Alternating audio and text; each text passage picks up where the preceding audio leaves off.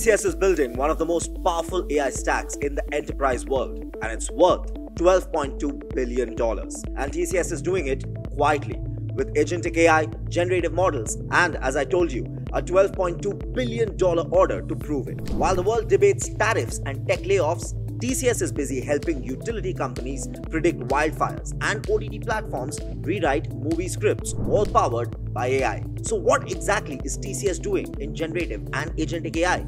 Let's tell you. So, let's give you a little backstory of how TCS just crossed $30 billion in revenue for financial year 25. Its net profit dipped slightly, 2% down year on year.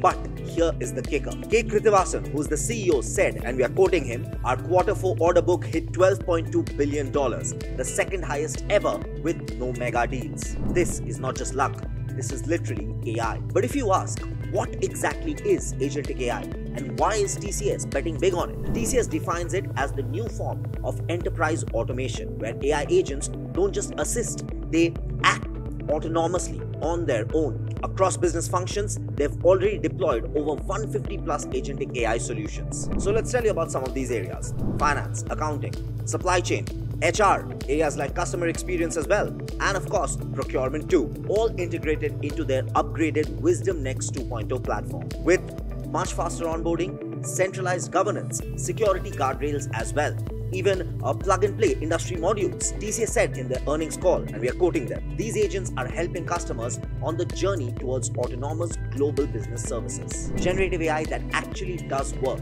I mean, forget prompt demos. TCS is using GenAI to convert 50 million lines of COBOL into Java. Yup, legacy transformation. They are powering script analyzers for OTT platforms using viewership data. They are assisting drug discovery, filtering down 13,000 molecules to just 12. They are helping utility firms uh, analyze LIDAR, weather, satellite, and vegetation data to predict wildfire risks. All real use cases, all enterprise scale. So, what is the impact on business going to be like? Unlike others, TCS says that AI is not eating into their margins or replacing human employees at all. Samir Seksaria, who's the CFO of TCS, said, and we are quoting him AI for business is mostly a net new opportunity. Productivity gains are shared, but there's a no margin reduction. And no, AI is not replacing jobs here. Milind Lakkad, who's the CHRO, said, and we are quoting him, we don't see any impact on hiring because of AI. Clearly, a much different take than a lot of other companies are taking. So, if you're a TCS employee, you're pretty secure. In fact, TCS onboarded 42,000 trainees in financial year 25 and are ramping up hiring for financial year 26. But what about the profit? Yes, quarter 4 did see a net profit fall of 2% year on year. Margins took a 30 BPS hit. Why, if you ask? Is because TCS says it's mostly from, say, wage hikes, talent investments, Clearly, since they're hiring so much, then comes CSR and marketing events, and then tactical merit promotions, and most importantly, tariff uncertainty. Mr. Krithivasan said, and we are quoting him, we observed delays in directionary decision making starting late February, but no major cancellations. And still, they are bullish. They said, and we are quoting them, we believe financial year 26 will be better than financial year 25. And they are backing it with a record deal pipeline. So let's talk about the future according to TCS. I mean, forget building your own LLMs from scratch. TCS's bet is on use case first Gen AI, uh, enterprise ready agents, responsible deployments at scale. They've filed 267 patents this quarter alone. They've been granted 235 new ones already. So, what is their strategy behind this? It's simple don't build huge foundational models just for the sake of it. Rather, focus on real ROI.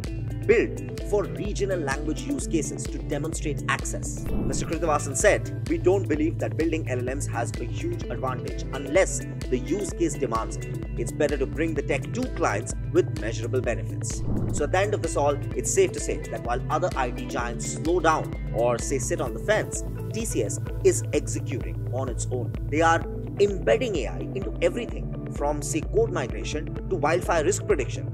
They are not just consulting on AI, they are building on agentic workforce that scales globally, that is autonomous. So the next time you hear someone say AI is high, just point them to the $12.2 billion worth of TCS clients who disagree. What are your thoughts on this? Tell us in the comments below which TCS AI use case blew your mind the most. We would love to hear your take. For more deep dives like this from the world of Indian IT, Indian AI, subscribe to AIM TV because think AI, think AIM.